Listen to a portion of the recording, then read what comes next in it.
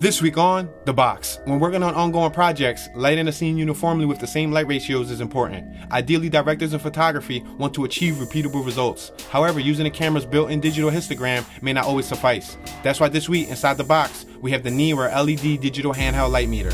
It arrived in less than five business days. The box includes one light meter, one carrying case, one 9 volt battery, and one user manual. The integrated optical probe allows users to measure the lighting in a variety of locations. It comes equipped with a light sensor that has a range selection of 200 lux through 200,000 lux. The maximum display value is 1999, however, the range multiplier allows for higher readings. It has a power button, range selection button, FC unit selection button, data hold button, and a lux unit selection button. The 9 volt battery is estimated to provide at least 200 hours of battery life.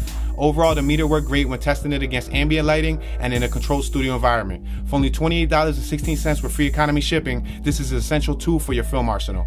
Tune in next week, same time, to see what's inside the box. Like, comment, share, and subscribe now.